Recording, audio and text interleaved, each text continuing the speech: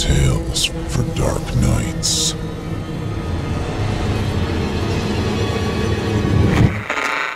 Want to make sure you never miss a Chilling Tales for Dark Nights video again?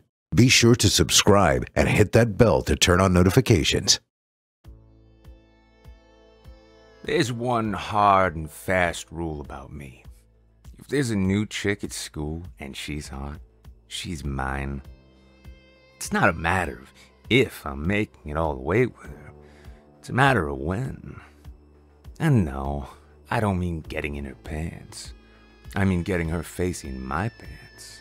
Because Mickey Banks is a god, and the only prayers I'll accept are the ones spoken directly into my skin mic. And I don't let nobody stop praying until there's some major feedback from my Marshall stack. I mean, look at me. This hair, this body, these eyes. You belong on your knees if you want some of this. Okay, that's what I used to think. There's a fine line between being humbled and being humiliated, and I'm still not sure which camp I landed in. So this preacher with this helmet hair and salesman teeth moved into our little burg. He brought with him a daughter that couldn't have been more perfect. Something told me that sweet peach had never had a worm inside it. I was gonna change that. I knew my chances were good because whenever I passed her in the hall, her eyes went from my face to my jeans and back to my face. Real shy like. She was as good as mine. But I knew that you can't just take on a preacher's daughter like you take on your average hoe. I had to pretend that I actually liked her. Like I wanted to know more about her than what the top of her head looked like. Her name was Olivia, and she was more than happy to hear what I had in mind. I should have questioned how easily I got in. But I was a bull, and I charged straight for that red flag instead of stopping to think about it. She had me over on a weekend when her parents would be away longer than usual due to some Sunday special tent worship extravaganza thing, thing, thing. She pretended to be sick, so they left home. Oh man. I don't know if it was her retainer plate or just talent, but I was seeing stars. I was a believer for just a few seconds, but then I remembered that I don't want to be punished for what I was doing. So back to atheism I went. When I could see straight again, I looked around for the mess. There wasn't any. Her lips looked real tight for a second before she smiled and winked. I got rid of the evidence. Now that, my friend, was one hell of a girl. She was probably the girl of my dreams. I didn't know it at the time. I did what I always did chased after another one, and I made sure that Olivia saw it. It crushed her, to put it lightly. I didn't feel any shame. It kind of made the next gobbling really nice. I wasn't a good guy. I lay in bed with Bella, the one right after Olivia. I'd have to get home before my parents raised a storm, but I took the time to marinate in the good time I just had. I heard this siren go off outside. It was like some old school air raid siren. Before I could think about it, it started to get hard again. That freaking hurt. I didn't know why it was happening, so I was scared on top of being too tender. It was probably the worst pain I had ever felt, because I passed out. I didn't wake up until morning. Bella was smiling at me, but looked worried. You were crying in your sleep, she said. No, I wasn't. Yes, you were. It woke me up. You were dreaming. I don't cry. She looked like she was ready to argue until her eyes suddenly got big. Oh, shoot. You need to leave before my parents see you. Ugh. That meant that I'd be facing my parents for sure. But at least I had a chance to avoid double confrontation. Some other chick busted through the door. She was probably 14 and she was straight up ugly. She looked at me and looked at Bella. Alright, Belle, give me money if you don't want me to tell mom and dad again. Dang, that little girl had hustle. Bella began fishing for cash from a drawer when I heard that weird siren again. I looked at little girl, like I was waiting for her to react to the moaning wail. But she just threw me an expression like, What? My manhood did exactly what it did last night. I got rock hard so fast that it hurt. I was still in my boxers, so the tent I was pitching was plain to see. Little girl's eyes went boing, and she covered her mouth. I guess that was self defense.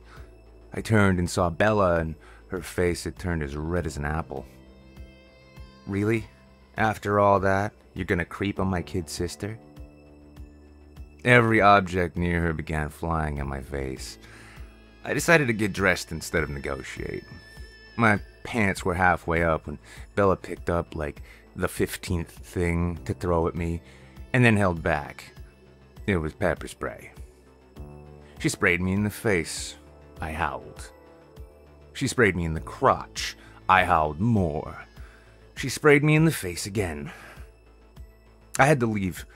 Survival instincts threw me into autopilot. If there was ever a man that could run a marathon with his pants around his ankles, it was me in that moment. I don't even remember how I got out of the house. I just remember hearing cars honking and feeling my bare feet smacking pavement as I screamed at the top of my lungs.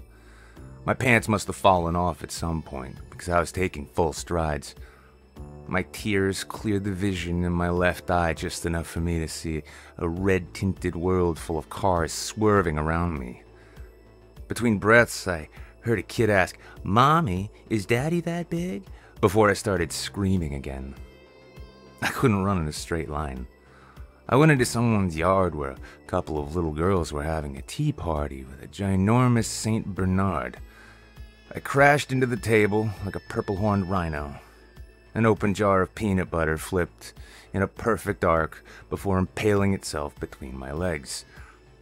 Above the yelps of the little girls, I could hear the St. Bernard pounding the ground, chasing me.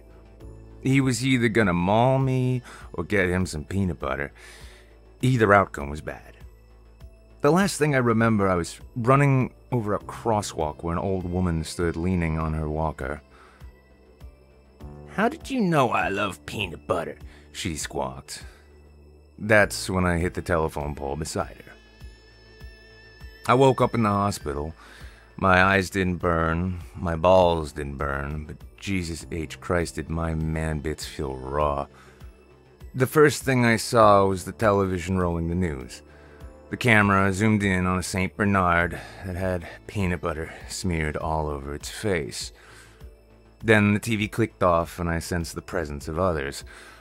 My parents were in the room.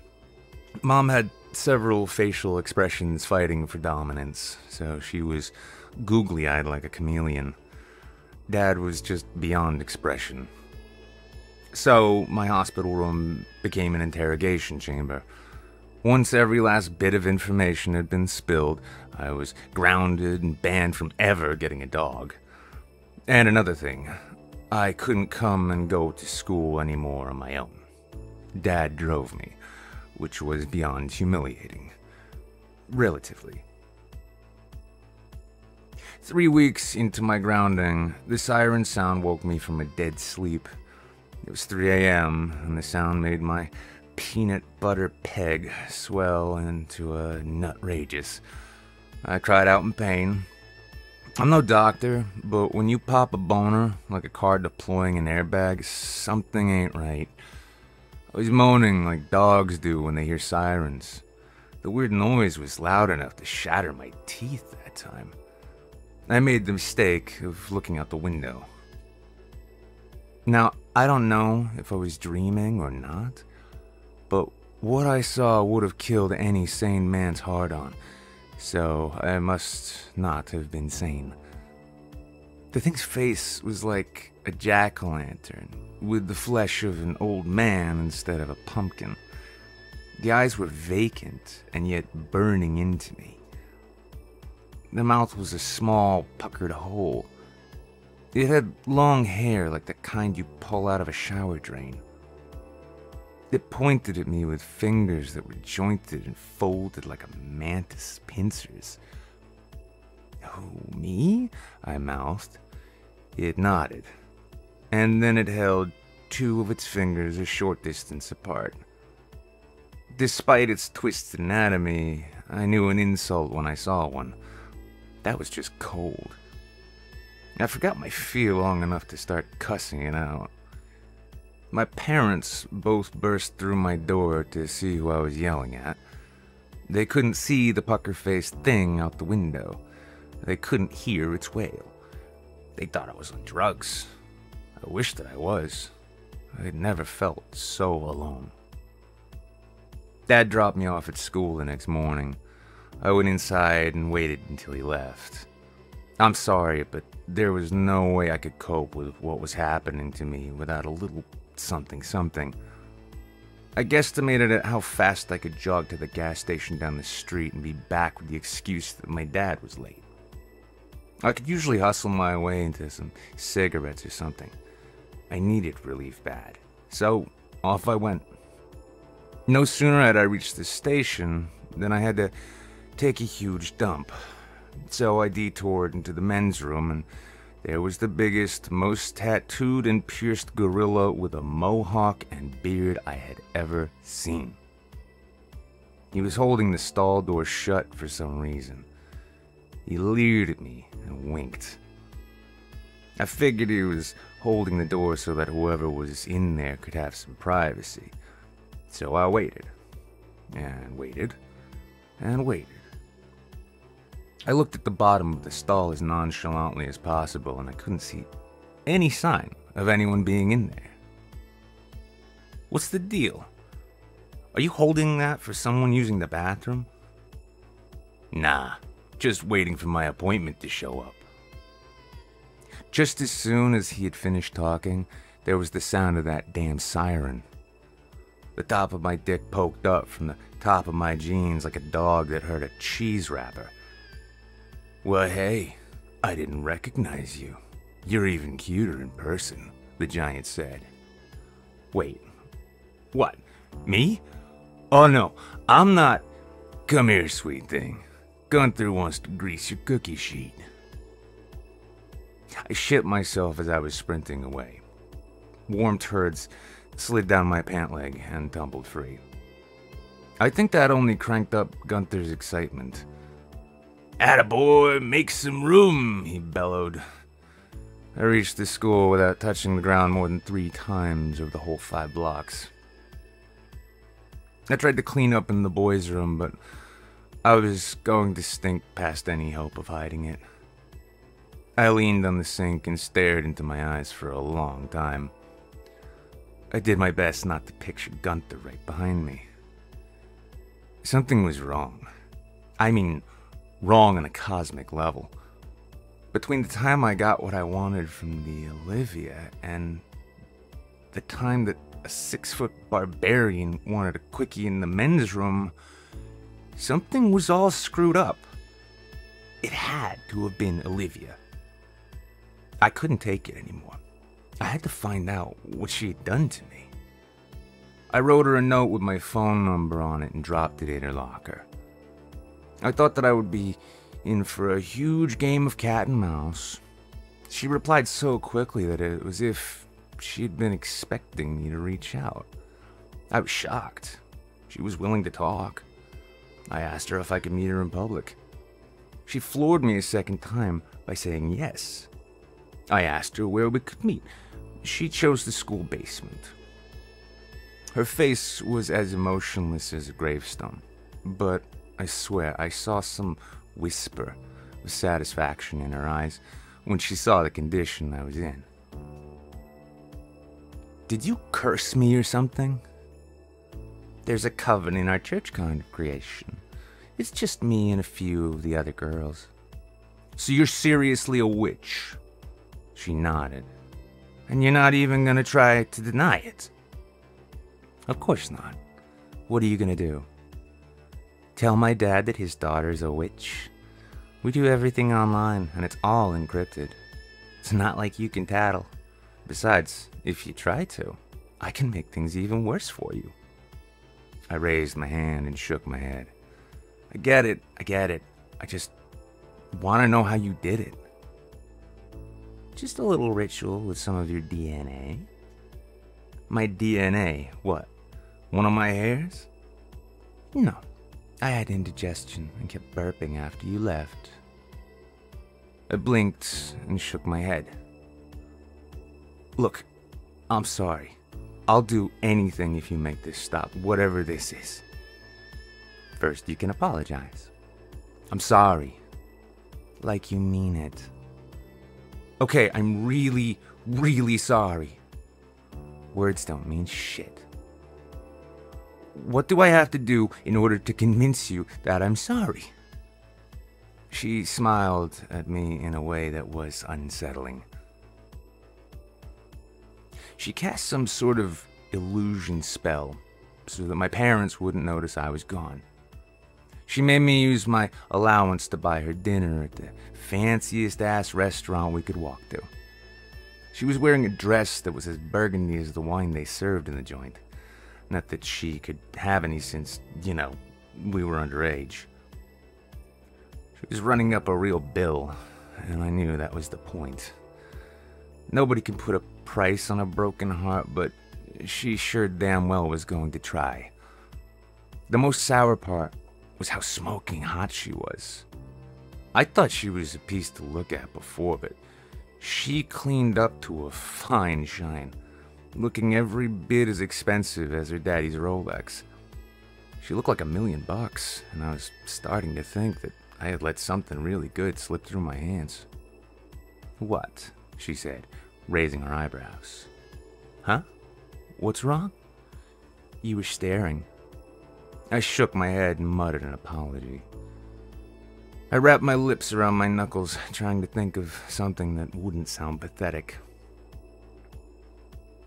I'm just really good at making bad decisions and not holding on to good things, I said. And what's that supposed to mean? The little brat. She knew. I could see it. For starters, I never guessed that I'd meet a preacher's daughter that was a witch at the same time.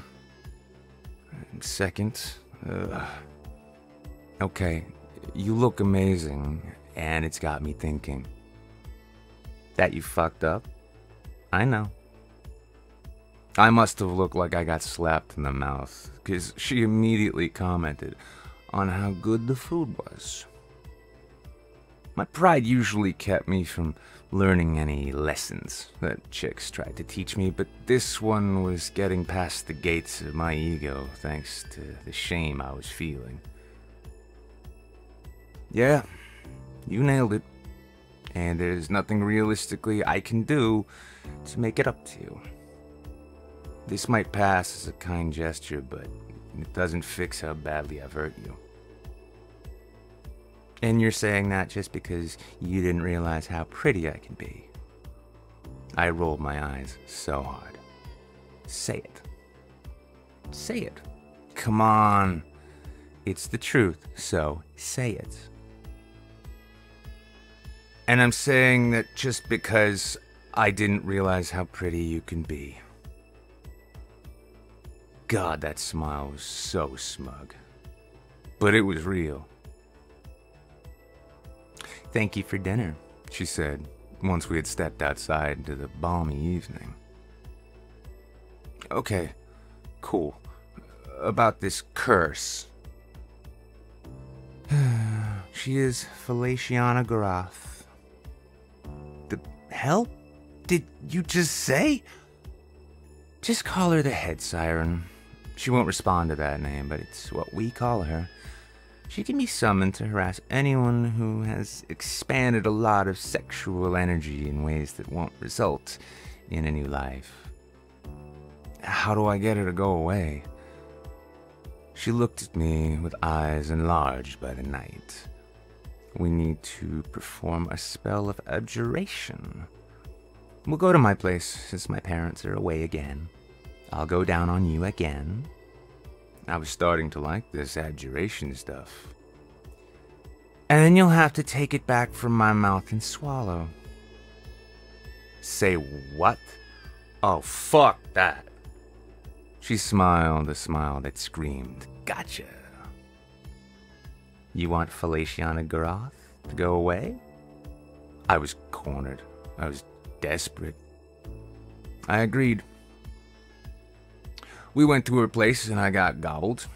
It felt clinical, like it was a business transaction, which made me feel like I was soliciting a hooker. The moment came. Well, I came and then the moment came. She stood up with her cheeks puffed out. and Before I could tell her that I needed a moment, she smashed her lips against mine and. Ugh, I don't want to talk about it. It all happened so fast that my gag reflex was too late. I prayed that I didn't burp. Anything that came up wasn't going to go back down again. When I could breathe without retching, I looked up at her. She was smiling. So now what? I said. That's it. The spell of agile germination is done. She grinned in a way that sent shivers down my spine. There is no spell of abjuration. My heart sank. Then. That. Why did you just have me. She struck me across the face with a slap like thunder, and I hit the floor hard. Get out! Get out before I call the cops! She kicked me in the stomach, and I thought I was gonna spit myself all over her floor. The more I tried to talk, the more she screamed at me to leave. When I finally got out the door, her laugh rang out through the night air, cruel and jagged and triumphant. It wasn't loud enough to mask the sound of the head siren. It was the first thing I heard when I reached the end of the block. Between the betrayal, disappointment, and the realization of how much danger I was in, I broke into a blind sprint I was hit by a car. I went to the hospital, where I was in a full body cast for far too long. It would have been easier to endure if the nurse assigned to me wasn't Gunther, the burly guy from the gas station bathroom. He somehow recognized me through all the bandages, and it just made his day that I was all wrapped up like a Christmas present just for him.